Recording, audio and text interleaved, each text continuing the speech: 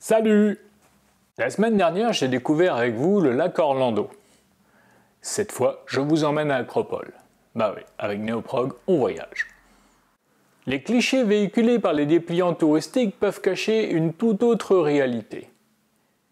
Rive graisseux, batterie parkinsonienne et champs caverneux, bienvenue en Grèce.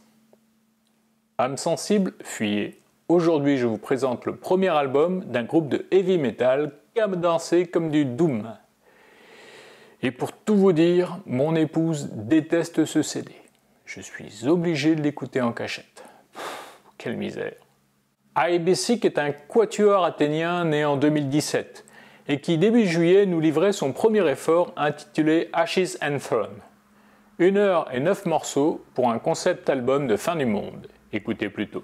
Réveillez-vous dans un monde totalement détruit face à une lumière aveuglante. Premier album, concept, Grèce.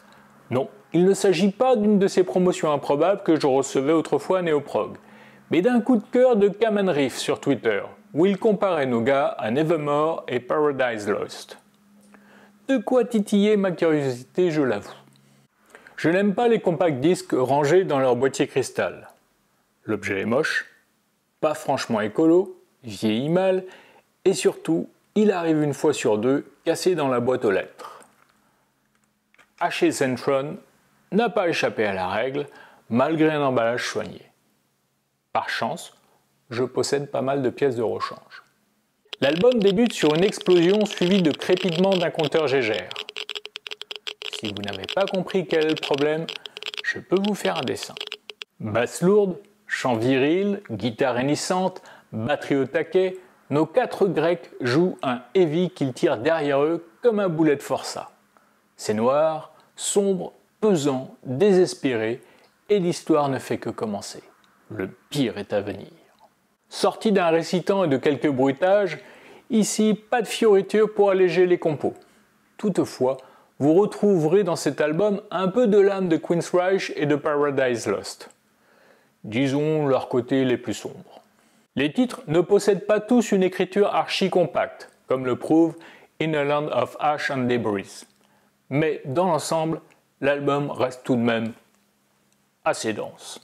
Dans le registre des basses, Constantine Maris assure, secondé par trois autres chanteurs invités sur cet album.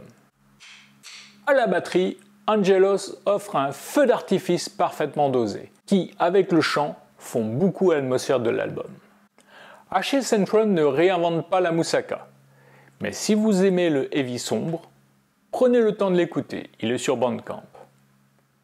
L'album vous plonge dans un cataclysme musical vraiment réussi, vous pourriez bien y prendre goût.